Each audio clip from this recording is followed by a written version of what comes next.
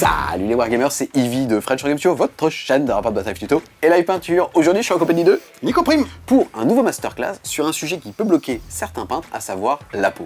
Et pour ça, tu vas d'abord dans un premier temps nous parler des différentes teintes de peau et qu'est-ce que la carnation. Ensuite, on abordera les ombres et la lumière sur la peau, les muscles et les fibres musculaires, et enfin, comment représenter les cicatrices ou les blessures. Qui est l'équivalent du weathering sur de l'humain.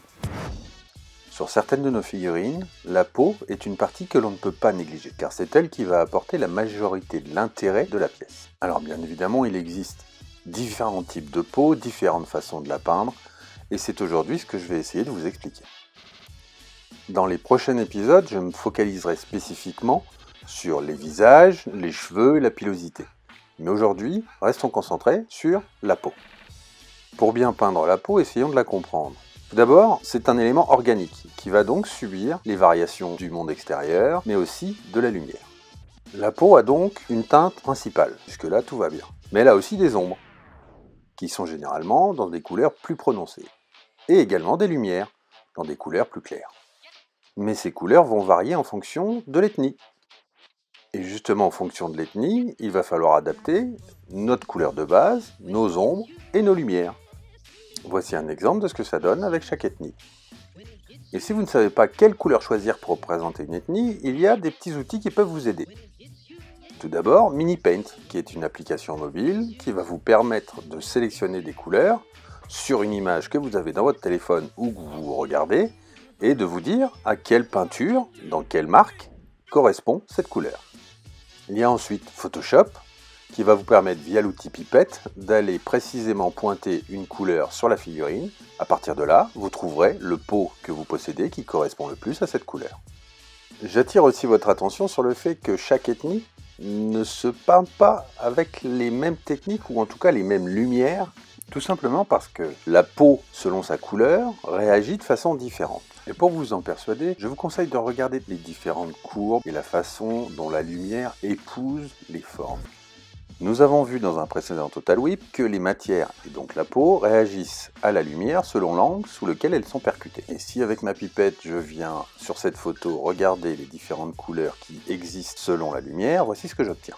Une couleur de base et différentes nuances d'ombrage ou d'éclaircissement. Mais comme la peau est une matière légèrement translucide, j'obtiens des couleurs supplémentaires. Et c'est ce qu'on appelle la carnation. Cette carnation sur une peau est définie par plusieurs facteurs. Tout d'abord des facteurs anatomiques, car sous la peau, il y a d'autres choses, et ces choses peuvent apparaître grâce à la transparence de la peau. On va donc retrouver du rouge pour le sang et les muscles, du bleu pour les veines, du vert à cause du mélange entre la peau et ses veines, et également du jaune pour les tendons. Mais il existe d'autres facteurs qui peuvent modifier la carnation, comme l'effort, la température ou l'émotion. Mais la carnation va aussi nous permettre de jouer sur des caractères beaucoup plus fantaisistes, en insistant sur des bleus, des verts, des jaunes, des rouges, et créer des types de personnages complètement irréalistes. Sur nos figurines, cela va se caractériser par des teintes de peau qui vont aller des rouges au blanc, au bleu, au vert, et qui vont renforcer le caractère de chacune des figurines.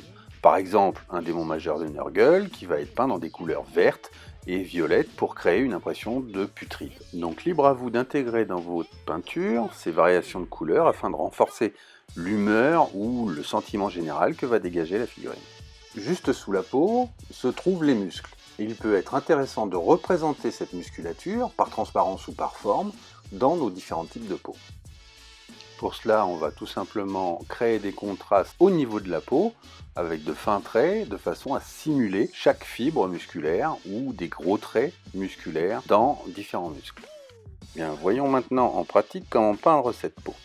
Pour ça, je suis parti sur trois figurines d'une boîte de Nightvolt, la meute fanatique. Et je vais vous proposer trois façons de peindre la peau. La première figurine a été sous-couchée avec une bombe de gressire, la seconde, d'abord avec une bombe de noir, puis ensuite avec un zénital à l'aérographe avec une sous-couche blanche. Et la troisième, enfin, uniquement en noir.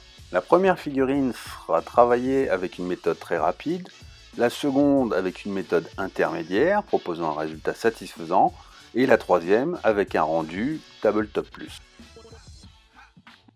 Pour cette méthode, je suis parti sur une sous-couche de grès cire pour pouvoir utiliser de la peinture contraste. J'ai donc fait un mélange de 50% de Gulliman Flèche et de l'amiam médium. Je viens donc charger mon pinceau moyennement et j'applique ma peinture contraste en insistant, on va dire, dans les ombres et en tirant bien ma peinture pour qu'elle soit fluide et bien répartie. Si les zones sont trop chargées, je viens étirer la peinture et la pousser vers l'endroit où je veux qu'elle s'accumule le plus. Je recouvre l'ensemble des zones que je destine à être en pot et j'évite surtout de laisser des taches blanches de sous-couche. J'ai ici peint en noir les zones adjacentes afin que vous puissiez mieux vous rendre compte de ce que donne le contraste une fois sec. Je suis ensuite revenu avec une peinture du type peau claire, ici un Kislev flèche, afin de renforcer l'effet contraste, c'est-à-dire les zones les plus éclairées ou les plus lumineuses sur la figurine.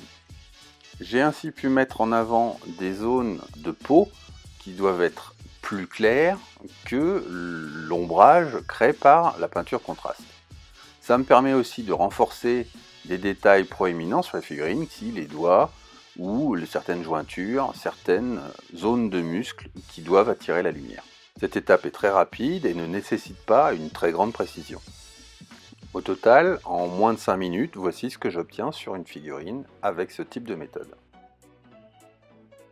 Pour cette deuxième méthode, je commence par baser l'ensemble de mes couches de peau avec la couleur de peau que j'ai la plus claire, c'est-à-dire un Kislev flèche. Je ne me soucie pas spécialement de la précision, je cherche juste à bien couvrir mes zones avec une, deux, trois couches de peinture si nécessaire pour obtenir un aplat bien propre et bien lisse. Pour ça, j'utilise une peinture légèrement diluée que je viens passer sur chacune des zones, que je laisse sécher avant de repasser dessus une deuxième ou une troisième fois.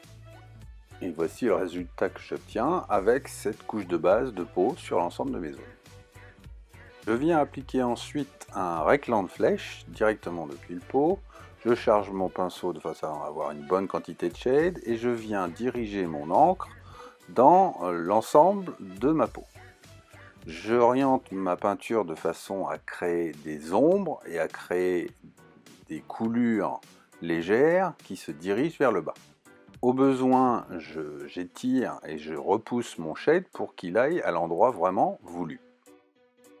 Et je m'assure que les zones d'ombre sont bien remplies ou bien couvertes par mon shade en le dirigeant et en le glissant tout doucement sur ma figurine. J'insiste tout de même sur le fait que cette étape doit être effectuée assez rapidement, de façon à ne pas laisser au shade le temps de sécher. Et une fois que je suis satisfait du résultat, je laisse sécher ma figurine pendant au moins un quart d'heure on constate que le shade a marqué l'ensemble des creux ainsi que les ombres que je suis venu spécifiquement marquer lors de cette étape. Je reviens ensuite avec la couleur qui m'a servi de base, c'est-à-dire le Kislev Flèche, et je viens redessiner en fait les muscles qui sont proéminents. Ma peinture est légèrement diluée, donc légèrement transparente, et j'évite soigneusement de retourner dans les creux que j'ai ombrés avec mon shade. J'obtiens ainsi une peau clair sur le dessus et ombré dans les creux. Si je souhaite obtenir un personnage, on va dire, légèrement plus bronzé, je n'ai qu'à répéter l'opération de shade et l'opération de revenir avec la base. Je vous conseille toutefois d'éviter de le faire plus de trois fois. Je viens ensuite avec un Kislev qui a été légèrement mélangé avec un petit peu de blanc de façon à créer les zones les plus claires de notre figurine et ajouter de la lumière à des endroits stratégiques sur les muscles les endroits qui captent vraiment la lumière. Que vous ayez passé une fois ou deux fois ou trois fois le shade, cela vous permettra tout de même de renforcer le volume des muscles aux endroits les plus saillants. Voici le résultat final obtenu en environ 15 minutes. Si j'avais ajouté des étapes de shade, j'aurais rajouté environ 5 minutes par étape. Passons maintenant à la troisième méthode. Bien qu'étant la plus longue, elle est tout de même celle qui permet d'obtenir des résultats les plus satisfaisants. Je commence par baser l'ensemble de mes zones de peau avec une teinte intermédiaire de peau, ici un Cadian Flèche. Comme je suis sur une base noire, je vais être obligé de passer deux ou trois couches afin d'obtenir un aplat propre et lisse. Encore une fois, ma peinture étant légèrement diluée, je passe sur une zone, j'attends que ça sèche et je reviens passer ma deuxième ou troisième couche. pour obtenir ceci et avoir une couche de base de peau qui soit bien lisse et opaque par rapport à la sous-couche noire. Je viens ensuite préparer un glacis à base de Moon Brang et de Cantor Blue. Donc je mélange ma peinture avec de l'eau et je la dilue avec environ 7 fois son volume d'eau. Le but est d'obtenir une consistance très laiteuse et euh, une peinture quasiment transparente, qui va ne faire que teinter légèrement les zones sur lesquelles je vais la passer. Je viens donc ensuite appliquer mes glacis en ombrage sur ma peau. Je me concentre vraiment ici sur les zones d'ombrage et les interstices entre chaque muscle pour créer mon ombre. J'oriente également sur les muscles un peu plus grands mon pinceau de façon à créer l'ombre et un premier dégradé sur une partie des muscles. Mon glacis séchant relativement vite, je peux revenir régulièrement à certaines zones pour augmenter l'ombrage en repassant le glacis par-dessus le glacis précédent. Je peux également, avec ce glacis, dessiner ou accentuer certaines zones, soit plates, euh, soit très peu creuses, et donc créer des ombres vraiment là où je le veux. Au final, voici ce qu'on obtient. L'objectif n'est pas ici d'obtenir quelque chose de très propre, mais de vraiment marquer les ombres là où on les souhaite. Ce sont les étapes suivantes, avec des couleurs de plus en plus claires, qui vont nous permettre d'obtenir la définition et la propreté que l'on souhaite. Ici, je reviens sur mes muscles avec un Tuscork Fur et je dessine des rougeurs, on va dire, sur le bas des muscles. Et j'applique les techniques de dégradé que l'on avait vues dans un précédent Total Whip. Au final, je travaille donc les transitions qu'il va y avoir entre le glacis que l'on a placé dans les ombres et la future couche de peau, tout en récupérant l'espèce d'aspect baveux que notre glacis pouvait avoir afin d'obtenir ceci. Je viens ensuite avec un Bugsman's Glow continuer mes transitions vers une couleur de plus en plus claire de peau. Je travaille toujours avec la même technique de dégradé et j'applique ma peinture vers le sens de ma lumière. Je profite également de cette étape pour commencer à marquer la fibre musculaire. Pour ça, je dessine des traits qui vont aller dans le sens du muscle, commencer à marquer le contraste que je vais avoir entre mes couleurs. Je continue à travailler vers ma lumière et je viens donc appliquer un Cadian Flèche et je renforce la lumière à certains endroits. Je travaille toujours ma fibre musculaire et tire des traits de façon à contraster chacune des zones. J'insiste sur le fait que cette étape peut être laborieuse et que vous aurez peut-être de façon régulière à revenir entre les couleurs de façon à bien générer les fibres et votre dégradé de façon à ce que la lumière monte bien vers le haut de chaque volume. Je poursuis ensuite avec un Kislev Flèche afin de continuer à accentuer le contraste de ma peau. Je pousse ma peinture sur des zones de plus en plus petites afin d'accentuer le galbe de chacun des muscles. À cette étape, sur certains muscles, il devient quasiment impossible de dessiner la fibre musculaire. Donc n'essayez pas de pousser ces détails jusqu'à l'extrême. Voici ce que vous devriez avoir obtenu avec les différentes étapes que nous venons d'effectuer. Je passe ensuite à un Kislev Flèche afin de continuer d'affiner la lumière sur chacun de mes volumes. Je pose ici réellement quelques petits points ou quelques tout petits traits de façon à augmenter réellement le volume et le galbe de la masse musculaire. Je finalise ces dégradés en ajoutant une pointe de blanc à mon Kislev pour venir définir les points les vraiment plus hauts ou plus saillants de ma peau. Après environ 45 minutes de travail, voici le résultat final que vous devez obtenir sur votre figurine. On a une peau extrêmement contrastée, colorée, qui donne de la chaleur et du tempérament à la figurine. Chaque muscle est bien dessiné et bien galbé avec des fibres apparentes. Au final, nous venons de voir trois méthodes. Une première qui utilise de la peinture contraste sur laquelle on vient rajouter une légère teinte de peau et de peau claire pour marquer les endroits saillants une deuxième avec une couche de base claire sur laquelle on va jouer avec des lavis sur lesquels on va ajouter des lumières, et enfin une troisième qui consiste à utiliser un dégradé de notre palette de couleurs pour venir progressivement apporter de la lumière à une figurine. Il arrive aussi qu'on souhaite représenter sur la peau de nos personnages des tatouages. Mais la lumière va elle aussi s'appliquer sur les tatouages qui sont directement apposés à la peau. Et donc on doit représenter dans nos tatouages cette lumière. Pour commencer ce tatouage, je vais commencer par dessiner le freehand de mon tatouage avec une peinture bleu foncé que j'ai bien diluée afin de garder une certaine transparence.